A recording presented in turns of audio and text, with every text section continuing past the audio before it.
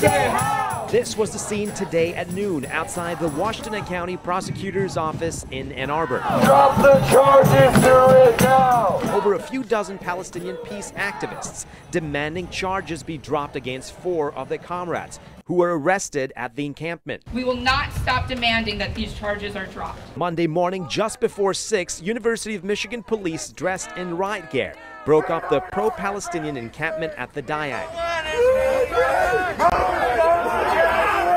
Sammy Lewis was one of the nearly 60 people living in the encampment that was set up a month ago. The Detroit resident was on night watch when Sammy says the police surrounded them and gave only a few minutes warning. How chaotic was that moment? It did feel scary. They started uh, hitting us with batons, hitting um, a lot of us in the chest.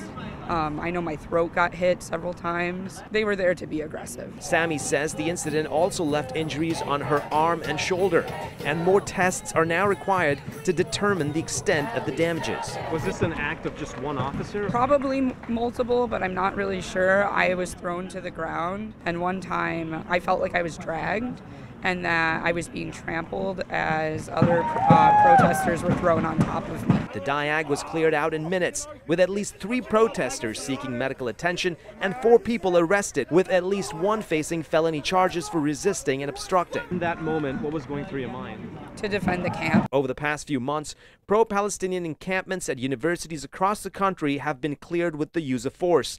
But to find out why it happened here, I went to the Department of Public Safety and Security. There's allegations of excessive use of force, and so that's one of the things I wanted to talk to the deputy chief. Deputy Chief Melissa Overton did get back via email saying that since it's an open investigation, there will be no comment. However, yesterday, University of Michigan President Santa Ono issued a letter announcing the end of the encampment, saying that it came after protesters refused to comply with requests to remove the external camp barriers, refrain from overloading power sources, and stop using open flames. Certainly wasn't communicated clearly to us that that was the reason they would sweep the encampment. As far as safety goes, um, the university certainly did not improve safety on campus by, by coming in and sending the cops. Michael Mueller is a grad student at the university. He says the key goal of the protest is for the university to stop investing in companies that profit from the war in Gaza. Why is this movement important to you? I mean, I think it should be important to all of us. As an American Jew, I do feel a responsibility to speak out against atrocities that are being done in my name.